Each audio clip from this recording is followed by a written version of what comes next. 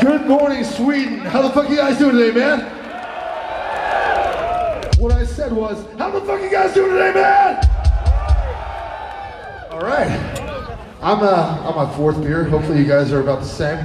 Anyway, we're Gruesome from Florida. Fucking very nice to be here with you on this lovely afternoon.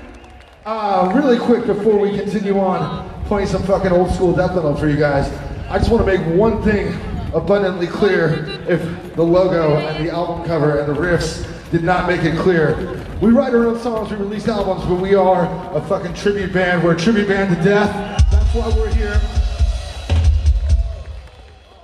All right, now that uh, that disclaimer is out of the way, this is from the Savage Land record.